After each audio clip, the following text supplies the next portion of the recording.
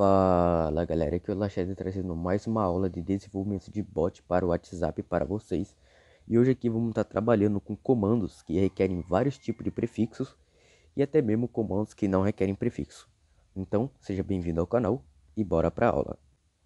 Então, primeiramente, vamos estar reutilizando o código que nós já fez aqui, que é a nossa condicional que ela verifica se a mensagem enviada pelo usuário contém um prefixo. E se ele contém um prefixo ali, ele vai estar tá executando o comando. Mas se é o caso ele não contém o prefixo, ele vai estar tá retornando o código e o código abaixo não vai estar sendo executado. Então, bora estar contornando isso, porque agora, se a mensagem não contém um prefixo, ele vai estar tá fazendo outro tipo de execução. Então vamos declarar essa execução em chaves, removendo o return, e nós vai estar fazendo o quê? Como nós já tem ali um local que armazena o comando do usuário, vamos estar tá reutilizando ele, que é o bot.comed, e vamos estar tá atribuindo agora o um novo valor. Que no caso vai ser, nós vai estar tá pegando a mensagem enviada pelo usuário, bot.message, e vamos estar tá agora separando os espaços. O ponto split e fazer a mesma regrinha. É barra, espaço, mais barra. Que é ali para estar tá separando por espaço. E agora nós vai estar tá pegando o primeiro comando, a primeira mensagem, que é o zero.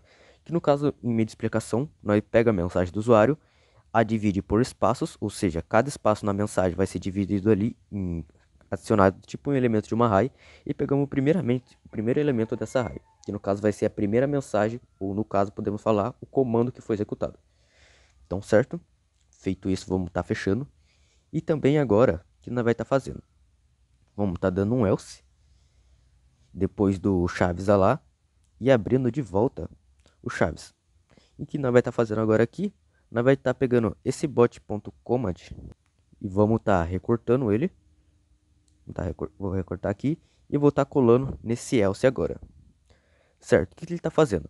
Se o bot não contiver um prefixo, ele vai estar tá ali definindo a mensagem para toda a mensagem ela nosso enviou, só que pegando apenas o comando inicial que ele envia, primeira letra, primeira palavra que ele envia, vamos dizer assim. E no caso, se ele contiver um prefixo, ele vai estar tá pegando a mensagem e retornando ela sem prefixo no nosso comando para que ele possa ser executado aqui normalmente. Que isso daí era uma outra aula que nós já explicou. Então, certo? Bora ver se esse código está funcionando. Bom, voltamos para o nosso bot aqui e bora estar tá vendo se ele vai estar tá executando os comandos. Vou estar tá dando um menu aqui para estar tá acessando a lista de comandos do bot. Ele não respondeu aqui, o prefixo eu coloquei errado, mas vai. E bora testar outro comando, como o araara. Que na verdade é o sei, mas eu sempre dou um araara para dar um teste. Certo? Ele está respondendo. E agora também eu vou estar tá executando o comando hello, que é o nosso objetivo não estar tá executando ele com prefixo. E certo, executou agora ele sem mesmo prefixo. E isso também vai estar tá funcionando para outros comandos. Então, como é que nós vai estar agora separando os comandos que contêm o prefixo e os comandos que não contêm o prefixo? Então, bora lá. Agora, no nosso código aqui, o que nós vai estar fazendo? Eu vou estar declarando aqui, nós vai estar declarando um novo valor no nosso bot, que vamos estar chamando de bot.message barra prefix. certo? E vamos estar atribuindo um valor a ele, que no caso vai ser aqui, dentro do nosso do nosso condicional, que nos retorna quando não tiver com o prefixo dando face. Por que isso? Então, porque nós vai estar atribuindo um valor que vai guardar a informação se nossa mensagem foi se nosso comando continha um prefixo ou não. Que no caso na primeira condicional não contém um prefixo. E depois também vamos estar definindo esse valor no nosso else, que no caso se ele tiver um prefixo, nós vai indicar, nós vai indicar lá bot.message barra prefix Vamos estar indicando ele, atribuindo o valor para tree, que no caso face é falso e tree é verdadeiro. Então ele indica ali, prefixo não contém, prefixo contém. E também vamos estar fazendo uma condicional ali, que agora vamos estar, que vai ter ali sendo, vamos dizer assim, declarado o valor se contém prefixo ou não no comando. Então vamos estar abrindo em files aqui, vou estar abrindo minha pasta de comandos e agora vou estar declarando eles aqui nos nossos comandos. Então, primeiramente, vou estar vindo no hello, que é o objetivo não executar com prefixo. Vou estar dando, vou vindo no Moodle export dele, que nós já criou, e vou estar fazendo o quê? Vou estar declarando agora um novo valor nele, que é o prefix. E certo? E nesse prefix eu vou estar atribuindo o valor dele como face. Ou seja, ele, esse comando não vai conter o prefixo. E damos um vírgula no final é muito importante. Só o último valor do módulo export que não pode conter um vírgula. Certo? Feito isso, também vamos estar declarando nossas, nos nossos outros comandos aqui. Prefix, isso você vai estar fazendo em todos os seus comandos. É muito importante você se lembrar disso. Que aqui no caso o say, ele é um comando e ele contém, uma, ele contém um prefixo. Então, declaramos o valor dele como tree. E a mesma coisa vamos estar tá fazendo no nosso menu. Vou estar tá declarando aqui que o comando contém ali o prefixo tree de novo.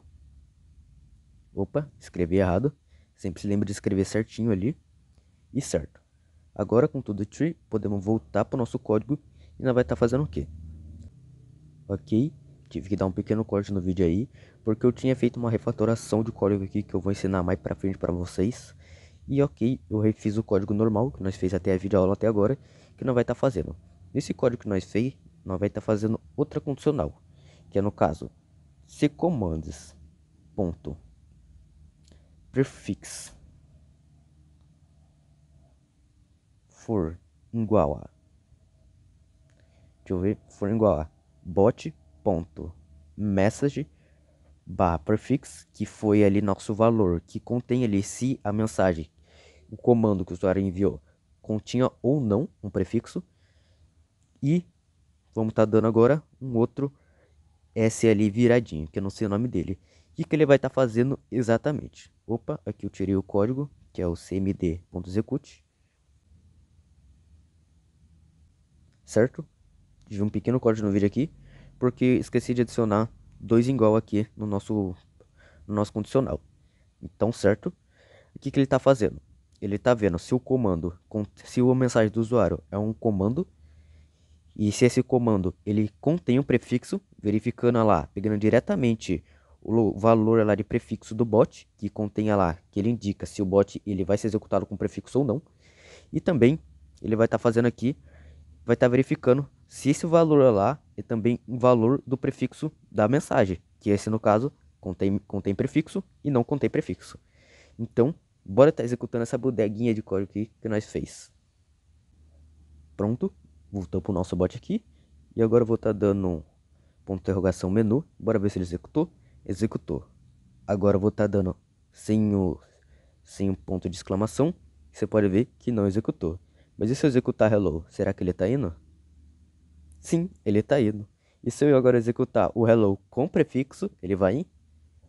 Ele não vai ir. Então, certo, como vocês podem ver agora, ele ali já tem um prefixo ali, ele verifica se contém um prefixo ou não. Mas e agora, Lashedder? E se eu quiser adicionar vários tipos de prefixo? Como é que eu vou estar tá fazendo isso? Então, bora lá para o nosso código. Pronto, voltamos para o nosso código aqui. E agora o que nós vai estar tá fazendo? Ah, lá na nossa inicialização do nosso Object Editor, que é o bot, eu vou estar tá criando um novo valor ali que ele contém o prefixo os prefixos do nosso bot, vamos falar assim. Então bora lá. Vamos estar tá dando um espaço aqui nele, dentro do nosso varbot. Vamos estar tá declarando prefix, que vai se conter nossos prefixos, e vamos estar tá atribuindo o valor dele para uma array. Uma array. Uma array se define dentro desses dos conchetes. E ok, vamos estar tá trabalhando. Então, vamos estar tá adicionando os nossos prefixos aqui dentro. Vamos colocar aqui um ponto de interrogação, certo? Aí nós vai adicionar um outro prefixo, damos um vírgula e fazer o mesmo processo. Aspas. Vamos falar assim agora um hashtag, um prefixo chamado hashtag.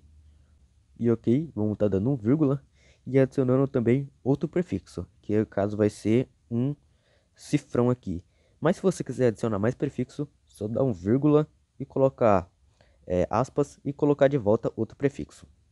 E por aí você vai colocando um montão de prefixo. Então, para você adicionar um novo prefixo, é só colocar vírgula e adicionar um novo prefixo aqui em aspas. E certo, e no final do conchetes, vamos estar tá dando um vírgula ali, para estar tá separando esse valor. Feito isso, o que nós vai estar tá fazendo?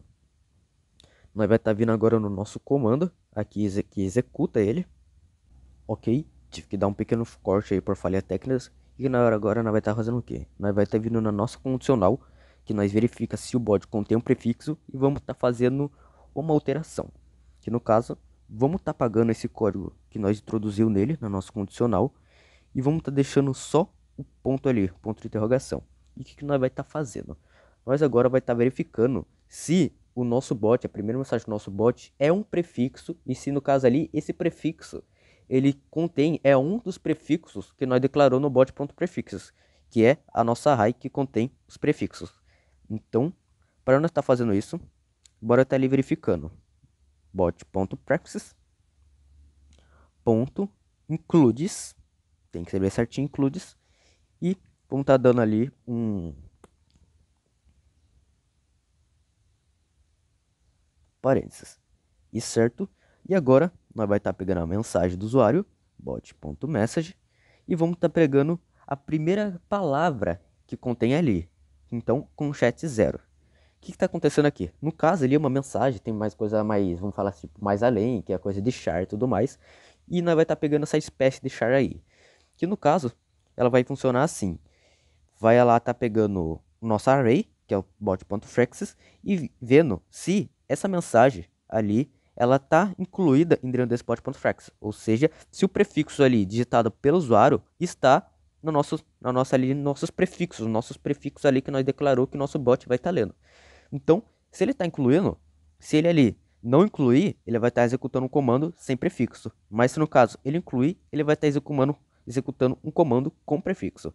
Então, bora tá vendo agora se isso aí realmente está funcionando. Pronto, retornamos para o nosso bot aqui. E bora ver se, tá retorn... se ele está funcionando. Vou dar um menu sem prefixo para ver se ele vai estar tá indo. Não foi. Certo. Mas agora eu vou estar tá dando um menu, escrever até hello ali com prefixo. Bora ver se ele vai. E ele foi. Bora tá dando aqui um outro prefixo nós colocou no impulso lá, que é arroba menu. Bora ver se ele vai. Ele foi. Bora tá dando mais, mais menu. Bora ver se ele foi. E agora ele não foi. Porque mais não é um prefixo no nosso bot. E se eu der um bar, ele possivelmente vai funcionar, porque talvez eu declarei lá. Eu não declarei lá, então ele não foi. Então você pode ver agora que ele só vai funcionar os comandos que nós digitou, como os prefixos que nós colocou, como hashtag menu, ele vai ir. E também, se o nosso comando agora não contiver um prefixo, ele vai estar tá executando. E isso também só os comandos que nós declarou ali que não contém um prefixo. Então, como vocês podem ver, nossa aula hoje está completa. Você agora pode ali executar comandos com vários tipos de prefixos que você declarou, você vai estar tá declarando eles, e também comandos ali que não contenham um prefixo para ser acionado. Então, é isso.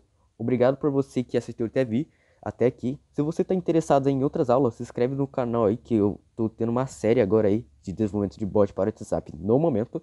Então, se inscreve aí e ativa a notificação para você ali receber mais aulas como essas. Então é isso. Obrigado e falou!